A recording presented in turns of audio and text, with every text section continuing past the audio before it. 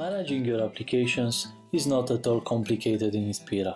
You just go to the careers homepage and you choose a view to expand or shrink the list you work with. And if it's a sent application, basically follow the status.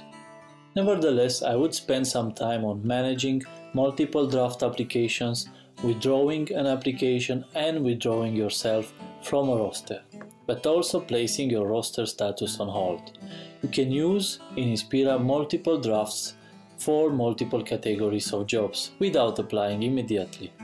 You will be in this way prepared for different types of job openings to ensure that you have precise and effective applications. You will find your draft applications in the list of applications, sometimes hidden 3 months before in the list, so you need a bit of patience here. If this is linked to an application, it's easier to find.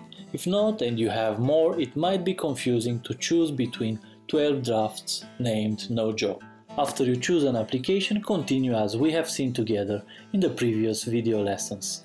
And something that might be useful, delete draft applications that you don't use. To withdraw from a job application, you are using the same careers homepage, applications, and click on withdraw my application.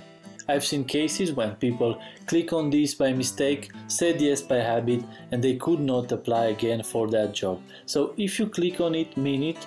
If you do it by mistake, don't confirm. To withdraw or put your career roster on hold, you go in the same careers homepage, look for your roster memberships and follow the link. You will have the options there, be careful withdrawing is permanent and it affects all current applications depending on the particular roster membership. And with this, we finish the short video on managing your applications.